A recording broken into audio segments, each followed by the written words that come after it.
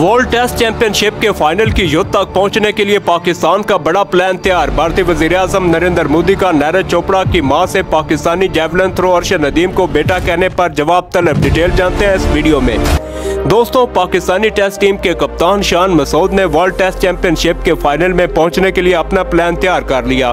اتوار کو راول پنڈی میں میڈیا سے ٹاک کے دوران پاکستانی ٹیسٹ ٹیم کے کپتان شان مسعود نے کہا کہ ہماری نگاہ فائنل پر مرکوز ہے، جس کے لیے ہر ممکن طریقے سے جیت حاصل کرنے کی کوشش کریں گے۔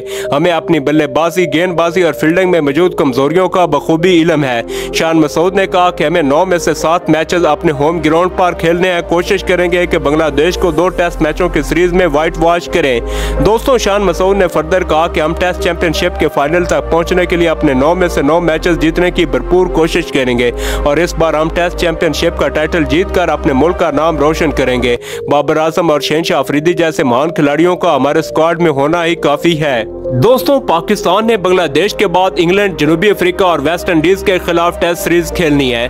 دوستوں دوسری جانب بھارتی وزیراعظم نریندر مودی نے پیرس اولمپکس دو ہزار چوبیس کے جیولن تھرو مقابلے میں سلور میڈل جتنے والے بھارتی کھلاڑی نیرے چوپڑا کو مبارک بات دینے کے لیے ٹیلی فون کیا اور پاکستانی گولڈ میڈلسٹ ارشد ندیم سے متعلق بھی گفتگو کی۔